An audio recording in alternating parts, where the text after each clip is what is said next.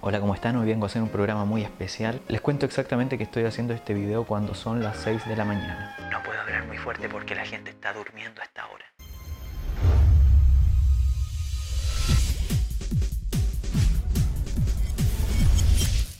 Sí, es verdad, no pude dormir, no pude dormir absolutamente nada, aún estoy despierto. Así que me puse a investigar algunos motivos por los cuales uno llega a esta situación. Número 1 el alcohol. Pero como si yo me tomo uno y duermo perolona. Al contrario de lo que mucha gente piensa, el alcohol no ayuda para nada a dormir. Sino todo lo contrario, podrías mezclar la resaca con el cansancio del día siguiente. Número 2. Las pesadillas. El miedo de tener pesadillas podría causar el insomnio, pero no creo que sea eso porque yo hace tiempo no sueño nada.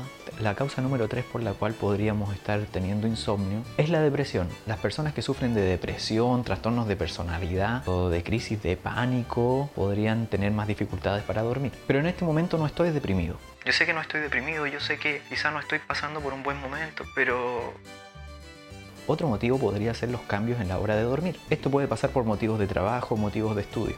Yo creo que por ahí va la cosa.